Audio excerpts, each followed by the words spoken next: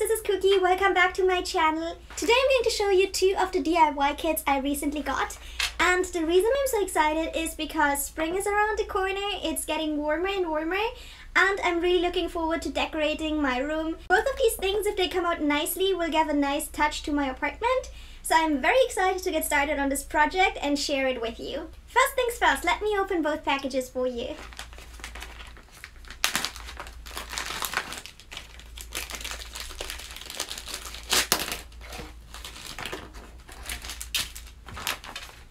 As you might have guessed by now, these are needle felting kits. This one is used to make a little bird, and the other one that I'm going to open up on the other side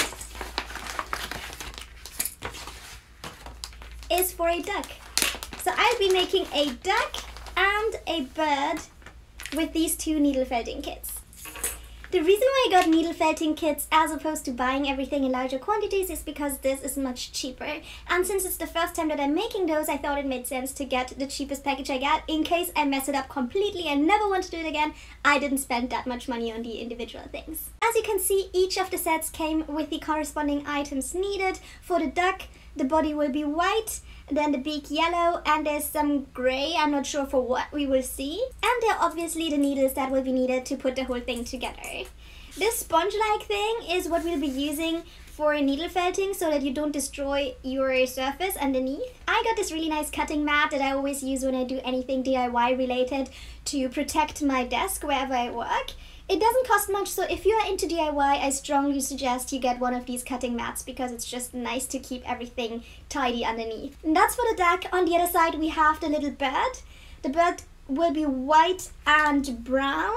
It also has a piece of felt to be cut, I suppose. Some glue. And then I see this and I'm very excited because this looks like a pom-pom machine to me. So somehow this will be integrated in the process. We will see how that goes and there are all sorts of little accessories. So I'm looking forward to finding out how this is going to work out. Because I love ducks, I decided to start with the duck. I hope the bird isn't too offended. And let me put all the bird elements to one side so that we don't get them mixed up. And let me get started with the duck. Now the way this works is you have to cut the white fabric in half. I looked up some instructions, so I'm going to stick to one of those that I thought made the most sense to me. Now here we have some yellow and gray. And let me get out the needle. If you're wondering what this black rope is for, it is a duck that is sitting on a swing. So this will be used to make the swing. At the very beginning, what is the most important from all my research, I'm not a pro, so if I do something wrong, please bear with me and excuse my faults, is to not take too much and to spread everything apart. Just make sure it's really messy. Apparently it looks much better if you've messed around with the wool a bit more before starting.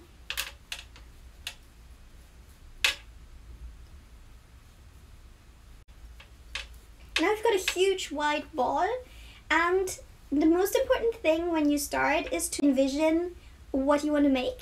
In my case, a duck. So I need the body part and the head, that's my aim. Try to work towards that direction.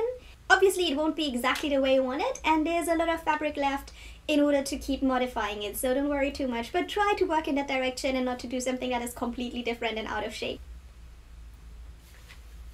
The second thing you should know is that this is very sharp, so try to not have your fingers anywhere near it when you start using the needle. And I hope my fingers will all still be there at the end of the day.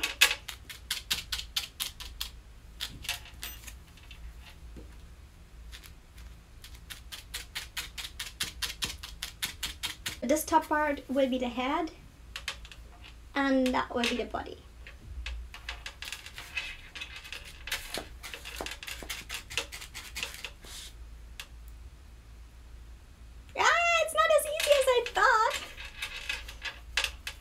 In order not to make this video too boring, I decided to speed things up a bit. You're going to see me putting this little duck together. As you can see, I cut a few pieces. Now I'm onto the wings. There are two wings from either side, or you can just call them the arms. I'm not sure how you refer to those when you refer to ducks. I'm no biologist. And these are the little feet. Once you're done with both feet, it's time to get ready and put everything together. Just make sure not to hurt yourself using the needle. I have to admit that I accidentally punched myself a couple of times with the needle, especially in the beginning. Please be careful. Next, I used some of the yellow wool to make the beak. That was actually quite easy because it's very small and very flat. Once you're satisfied with the beak, the last step is to put it on top of its face. Make sure to spend some time securing it, otherwise it is likely going to fall off pretty quickly. I decided to add on some contrast in order to make the beak a bit more realistic. That includes this really fine line that I put on top of the beak, as well as the two nostrils that are really tiny dots that I put on top. I think it gives it a more realistic touch, although it's a bit tricky to get them on. Once you have accomplished the task with the beak, the next step is to get the feet ready. The feet work pretty much like the beak, they're very flat. Make sure that there's enough space to put in some wire in between. That is going to be the part that you're going to stick into the existing leg of the duck. Make sure to add on some glue when you do that and use the needle as necessary to make everything fit together a bit better. Now this step is really cute. You can flap around the feet because you put in that wire initially and you're ready to add on the eyes. The eyes are pretty much the last step. The last thing that remains to be done is to place the duck onto its swing. And once you've secured that, the duck is ready to start its swing adventure. What do you think of my first duck made out of a felt knitting kit? Doesn't it look adorable? I pretty much like it. I decided to put on some extra needles so that the swing is tightly in between the wings or the arms of the little duck. And here you have a quick overview of what my little duck looks like in the end. Let me know what you think. Can't wait. Ta-da! I'm very happy with this since it is the first time that I've used one of these needle felting kits. Definitely try it out. It didn't take too much time and it was quite nice and relaxing to actually use the needle all the time. I enjoyed making this little duck and I'm going to show you where I'm going to position it in a bit. I might come up with a better idea, but for now I put it next to the air conditioner. Doesn't it seem happy there? The duck. Let's put it over here while I'm working on the second one, the little bird. The bird's a bit different from what I read. Let's get our tools ready. Open everything up. Here's the pom-pom maker. Very excited about that since I'm an avid pom-pom fan.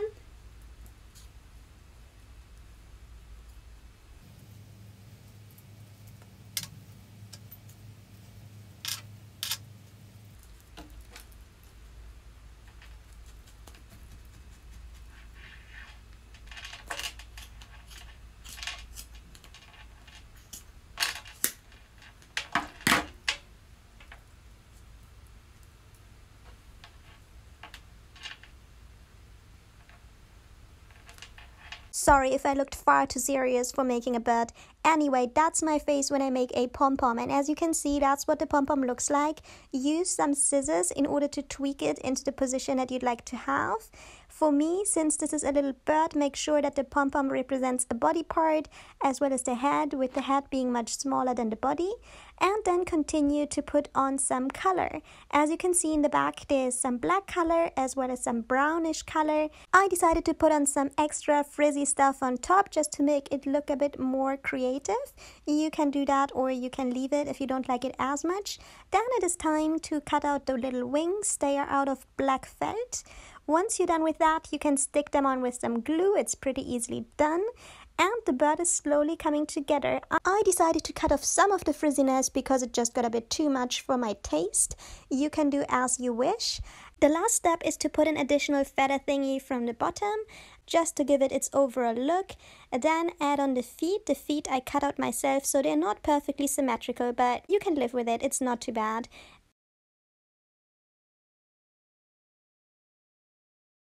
And in the last step, as always, just add on the eyes, both eyes at a symmetrical angle together with the nose, and the little bird is ready to go. As you can see, I ended up hiding all the frizziness that I implemented earlier. For some reason, I changed my opinion and thought it looks much better like that without any frizziness attached to the back. And I'm giving you a quick 360 degree overview of what the bird looks like in the end. I hope you like it.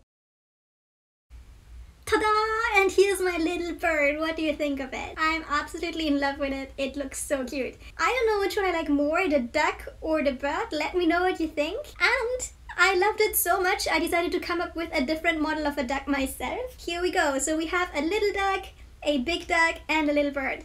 I think I'm going to keep going with this because it's so easy.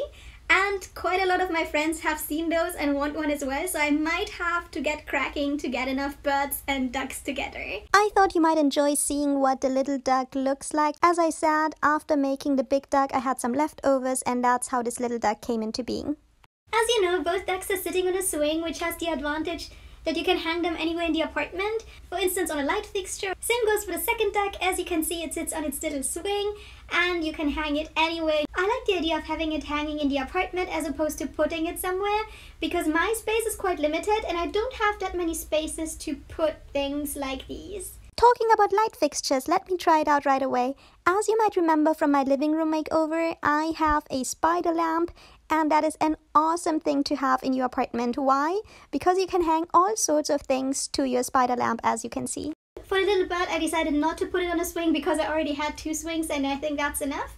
So this one might just go next to my window and it's small enough not to take up too much space so I think I can work with this one. I absolutely recommend getting a kit first and figuring it out. These kits since I got them on sale were really cheap and worth it but most of the time, it's much cheaper to get the things individually. So once you figured out that you like these sort of things, you can just get the colors that you need in bulk and it will be much cheaper. Alternatively, you can just do what I did and watch out for all sorts of sales and whenever a sale comes up, you can just go for it and then it's also very cheap to do. I highly recommend you trying these things out if you do have a free afternoon on a Saturday or a Sunday. It's absolutely worth it and your friends will love the projects that come out of this. Thanks for your time. This was a very short video today. I hope you liked it anyway, and if you would like to see more videos like that, let me know in the comment section below. Thanks for watching. Bye!